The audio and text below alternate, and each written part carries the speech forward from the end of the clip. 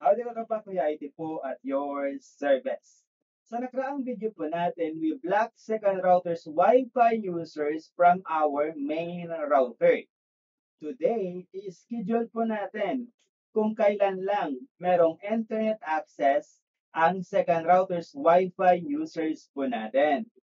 This will also apply sa main router's Wi-Fi users. Paano? Huwag kang kukurap at panoorin mo ang video ng buo.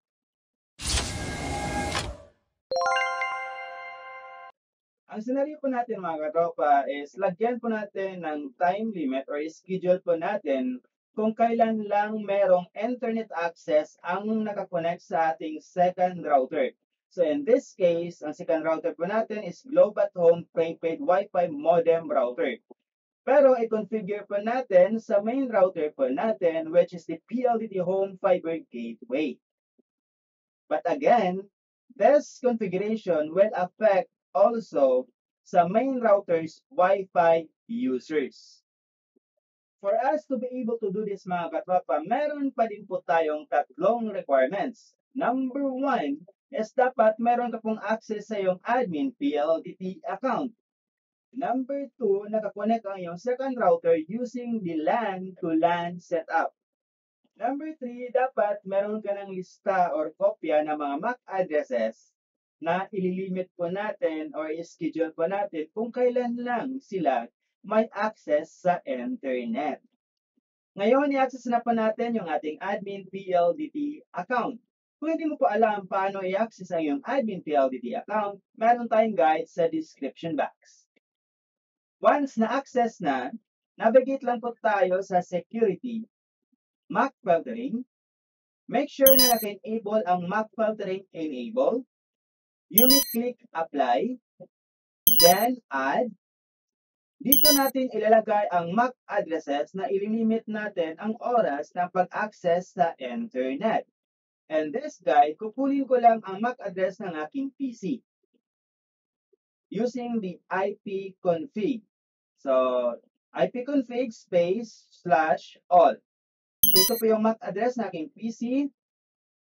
So, kukopyahin lang po natin. Kung hindi nyo po alam paano kunin ang MAC address ng PC po ninyo or phone po ninyo, meron po tayong guide sa description box. Teka lang, much better kung gagawin natin itong whitelist. So, recommended natin katropa is whitelist. Add lang po natin ulit yung MAC address. Pero pwede din naman kung blacklist, depende po sa inyo. Explain lang po natin yan further mamaya. Ngayon, lagyan na natin ng oras. So, naka 24-hour format po yan mga katropa. Let's say gusto mong may access lang sa internet ang PC na ito or phone, for example, from 9 a.m. to 5 p.m. It should be yung start niya is 900 to 7100 naman yung end.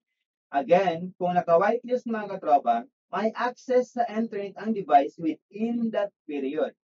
Kung naka-blacklist naman, meaning to say, walang access ang device from 9 a.m. to 5 p.m. Katropa, if you think this video is helpful, pakisuntok naman ng like button. See the difference mga katropa? Kung whitelist po, meron pong access sa internet ang device from 9 a.m. to 5 p.m. So after that, by 5.01 p.m., wala na pong access sa internet ang device. On the other hand, kung blacklist naman po yung gagamitin ninyo, walang access sa internet ang device from 9 a.m. to 5 p.m. But after that, by 5.01 p.m., meron na pong access sa internet ang device. So, nakuha ba natin mga katropa? Uh, goods ba? So, gumagana ba yung brain cells natin? So, ito naman. Uh, let's say from 5 p.m. to 11 p.m. Again, kung whitelist, may access ang device within that period. Kung blacklist naman, walang access ang device sa internet within that period. So, pwede bang 11 p.m. to 5 a.m. yung gawin nating uh, schedule? Hindi po pwede mga katropa dahil mag-error po siya na the start time should not be later than the end time. Bakit hindi pwede? So, wala tayong magagawa mga katropa dahil ganyan po yung pag-program ng configuration sa MAC filtering scheduling. So, anong pwede? Ah, from 12:01 mga katropa or 01:01 up to 23:59 PM. Mag-set lang po kayo mag-set lang po kayo ng time within that period or within that time frame. At pwede din po kayo mag-add ng, ah, MAC address na walang time limit. Ang gagawin niyo lang, wag niyo lang po kayo mag-set ng time.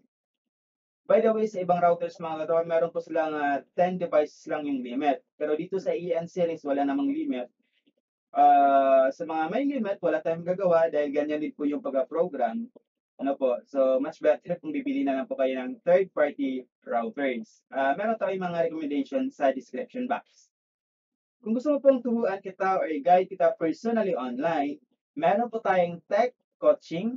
PM lang po sa FB page po natin, Kuya IT Official.